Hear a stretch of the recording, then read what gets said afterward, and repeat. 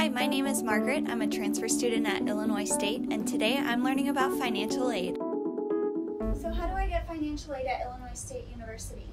So the first step in the financial aid process is making sure that the student has a completed FAFSA. So that opens up October 1 of every academic year.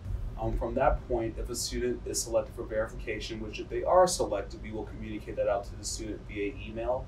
And we'll also post items on their ISU portal on their to-do list. So from that point, if a student sees something on their to-do list, they can go ahead and submit the documentation we're requesting, and then we can go ahead and finish verifying their account to process their aid.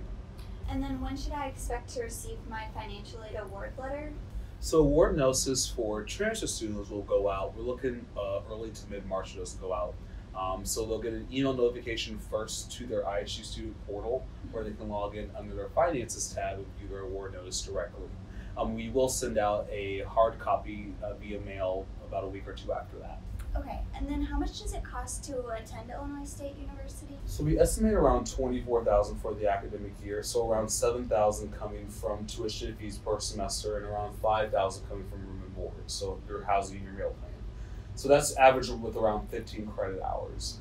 Now we also look into the indirect costs, so things that ISU is not going to directly charge a student, but may still feed into the college experience, such as books and supplies, transportation, and other miscellaneous expenses. So that brings the total to around thirty thousand for the academic year.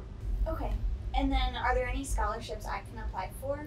So by filling out the admissions application, you will actually be eligible and considered for some of the transfer scholarships based on merit. From that, we also provide some additional resources on our website. So if you go to Financial Aid's website, under the scholarship tab, we have a great tool known as the Scholarship Finder. So it's kind of like a Google search where you can type in something, a hobby, a talent, or something related to you, and it will pinpoint different Illinois State scholarships that you may be eligible to apply for. Okay, thank you so much. No problem.